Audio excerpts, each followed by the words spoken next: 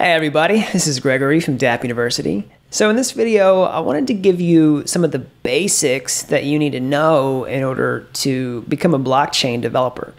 And I want to answer, you know, some common questions that I get because a lot of you email me and say, you know, where do I get started? How do I get started? What are the things that I need to know?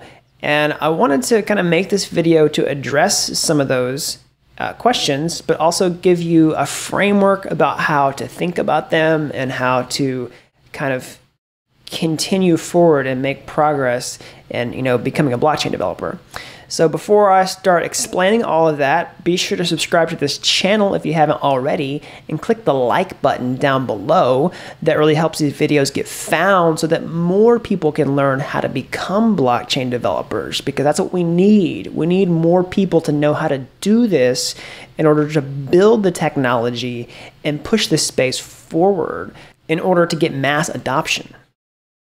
Okay, so let's think about some of the questions um, that I get. You know, whenever you come to the blockchain space, you're going to be inundated by um, all kinds of new terminology that you don't understand, like consensus algorithm, uh, like new languages like Solidity, um, gas. How does a blockchain work? What is a DApp? What is a smart contract? And those are all really intimidating things if you've never had to deal with them before.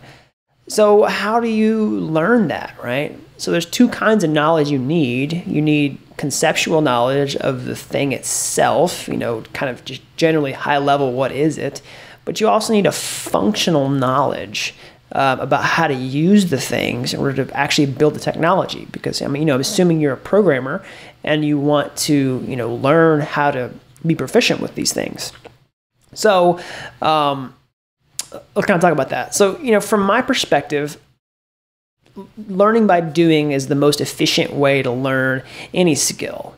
Um, the end result is to be able to do the skills. So, probably the best, most efficient way is to learn the skill itself and sort of run into walls.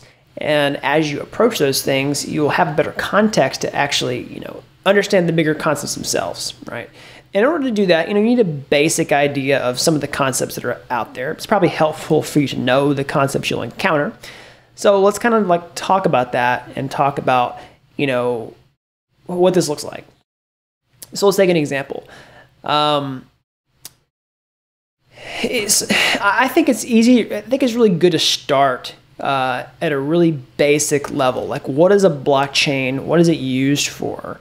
Um, and we'll take Ethereum for example, because that's what I talk about mostly on this channel.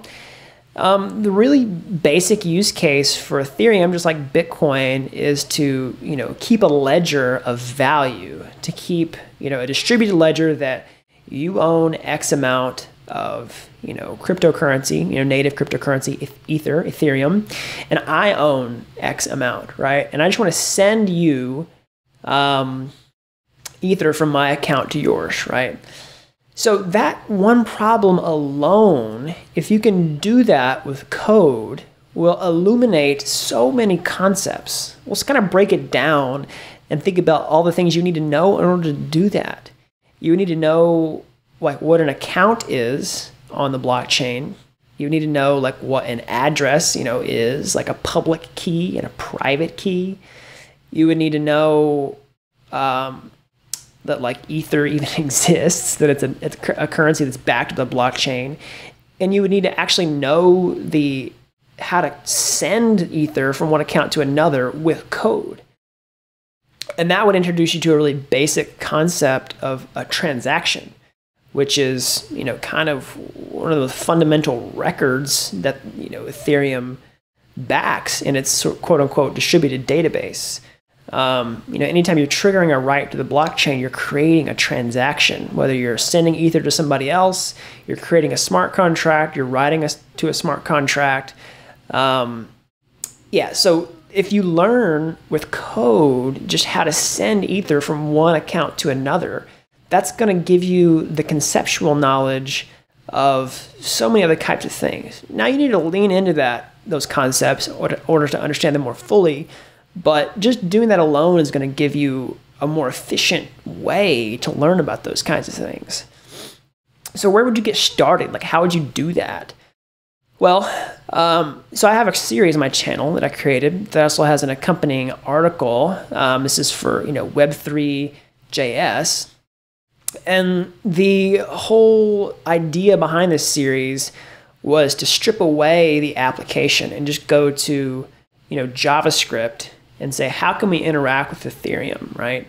How can um, you know I just send Ether from one account to another with uh, just JavaScript. And what that does is it takes away all the hard part of building out an application and kind of gives you a sandbox to play in in order to you know get your hands on these concepts themselves and, and sort of wrap your mind around them without being overwhelmed about actually you know building an app so check out this series in this article if you haven't already um, that's just sort of how that works so um, you know, in this series, I go more and more in depth. So if you start there, it's sort of just like if you've ever seen um, any other like sort of code challenges that teach you, uh, or they call katas, I think, that teach you from uh, you start with a really beginner level and it takes you all the way to a really advanced level.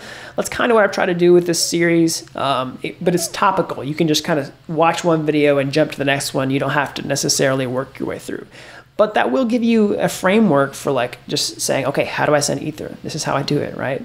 But that, then that gets you to more complex ways of uh, you know creating transactions, like deploying smart contracts, actually building the Ethereum transaction that does it.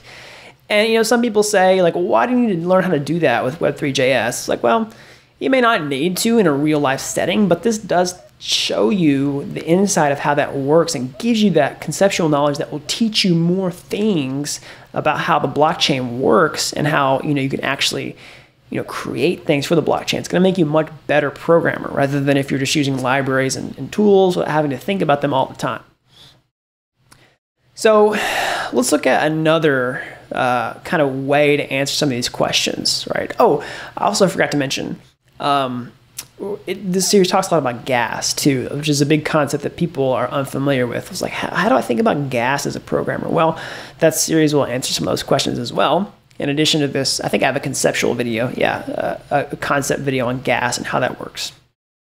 So you can check out that if you haven't already. Um, so, you know, once you sort of get some of those basics down about like how does a blockchain work? How do I just send things back and forth? How do I talk to it? I guess the next step is to like think about, you know, how do I write code that runs on the blockchain? And then how do I, you know, create, you know, some other app that talks to that code or consumes the data from that, you know, application, um, things like that.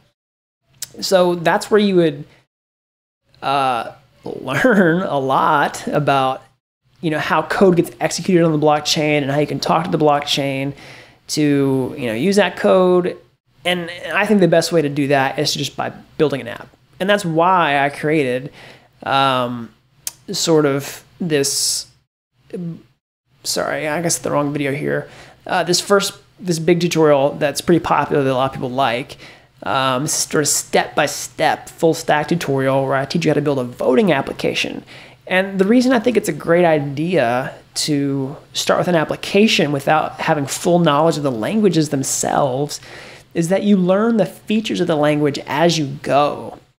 And you learn the features of the blockchain and the features of the ecosystem as a whole as you go. And that's like I said, it's more efficient. It's more efficient to learn that way rather than just learn how to about all the concepts for days or weeks or months or years and then go try to do them. It's just not very efficient. And so this is, I think, a better way to do this kind of stuff. So check out this article if you haven't already. Um, this is a two-hour tutorial and uh, you know a pretty lengthy article that goes through some concepts. And so when you do a tutorial like that, it teaches you how to get started with Solidity, which is you know the programming language that's used to write, write Ethereum smart contracts.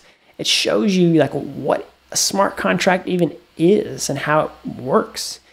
And you know, when you deploy the smart contract to the blockchain, it teaches you how the smart contracts work on the blockchain. And eventually, you have to learn how to like you know build a client-side app that uh, you know talks to those smart contracts. So then you're have to answer the question like, how do I write something that, you know, triggers transactions of the blockchain? How do I consume data from the blockchain? So by doing a tutorial like this, you get all of that knowledge without having to address the individual concepts step by step by step by step. So check out that one if you haven't already.